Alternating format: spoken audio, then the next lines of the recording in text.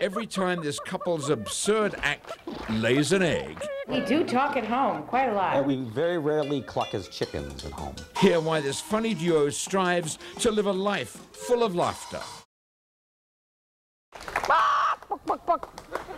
Several times a day, on one of the many stages scattered around the perimeter of the Renaissance grounds, visitors are treated to the weird but oddly compelling sight of two grown people acting like a couple of wacky chickens.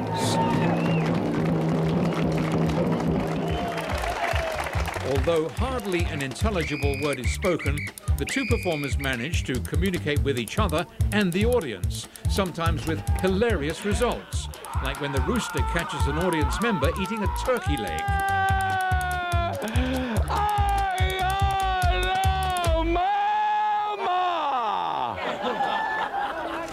Lloyd Brant, the rooster, and his wife Rosie Cole, the hen, live a somewhat normal life with their son Gabe in Minneapolis.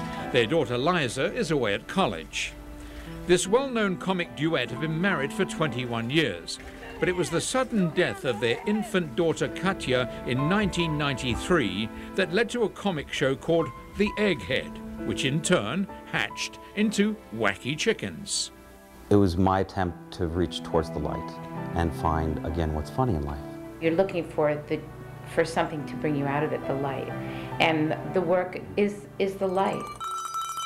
They are billed as absurd theatrics from the Theatre of Fools, but few in the audience that chuckle at the antics of this fun-loving pair are aware this farcical act was born in tragedy.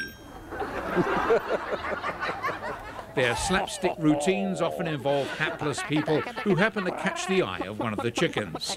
Like this gentleman, who willingly steps up to take part in a bit that involves the laying of eggs and a lot of joyful cackling.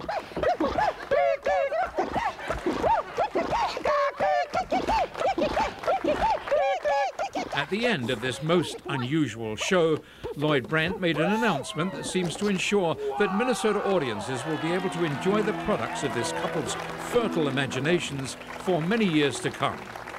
We were just awarded a grant from the Minnesota State Arts Board, along with funding from the National Endowment for the Arts, to create a brand new show. That's something to crow about. Come see the show. Oh, yes, it's wonderful. Thank Very you. good.